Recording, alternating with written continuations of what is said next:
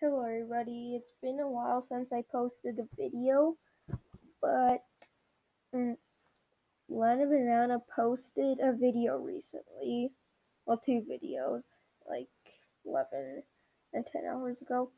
You should check them out, they're good. One of them was a ch- shout out to me, but I still have two more important things.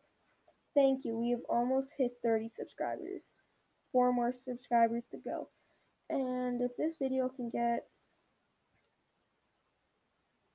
10 likes, actually, let's aim for 8 likes for this video till my cat gets